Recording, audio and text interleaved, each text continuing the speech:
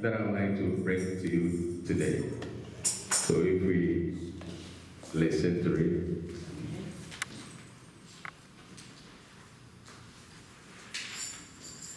This is Living Word Devotional.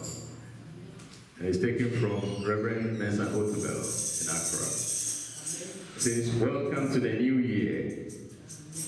Behold, the former things have come to pass, and new things are now declared. Before they spring forth, I tell you of them. And that is Isaiah chapter 42, verse 9. Welcome to the new to the year 2016.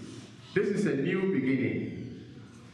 The beginning of every new year gives us a new opportunity to experience God's grace in a fresh new way. Before us stretches a new year, a new beginning. The old is past, put away forever. God invites us to forget about all the failures and the disappointments, all the anxieties and the fears of the past, all the resentments and the grudges we've been holding against others, even the successes and the victories of the past year, and begin anew. There are three important expressions of the heart that can equip all of us to begin this new year on a good note. Enjoy a fulfilling year and end it well. The first important expression is gratitude to God for the gift of life and the privilege of seeing a new year. Both our lives and the dawn of this day are gifts from the Lord, which must not be taken for granted. Secondly, we must express confidence in the goodness of God. Many start the new year with anxiety, fearful of all the uncertainties ahead. But when we trust the promise of the Lord to never ever leave us nor forsake us, our faith must rise with courage. His plans for us are for good and not for evil. God's plans for we Christians are good and not for evil. He has good plans for us, and when we abide by His words and He abides in us, we will enjoy the, good, the, the goodness of the Lord. And finally, we must pledge to dedicate our lives to the service of God this year. Since we have to dedicate the services of our lives to God this year. That is, we have to be active members. We have to partake in a very, very dynamic way, in a very unique manner.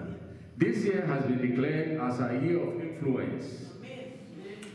As the light and the salt of the world, we Christians, we are the salt of the world. So it is our duty to influence to influence our society with the principles of the kingdom of God. We have to influence the, our society with the principles of the kingdom of God. Like salt in a rotten fish, we must save our society from decay. Like light to a dark room, we must illumine our society and show it a better way. May the good Lord grant you success and prosperity this year. And the prayer, thank you, Lord, for the gift of life and a new year. Crown this year with your goodness. And this can be taken from the scripture reading Isaiah 42 from verses 5 to 9. Isaiah chapter 42 from verses 5 to 9. I think when we go to our respective homes, we'll be able to make references to this and read more so that we build our Christian faith and then build our, our, our kingdom, build our way towards the success of Christ, Jesus' mighty name. Let us give the Lord a big hand for this year because the Lord has something special for all of us. He has good things. He has good things for us. He has good things in store for all of us. I hope members are coming. They are on the way coming also. Oh, we shall never give up. We, we shall start.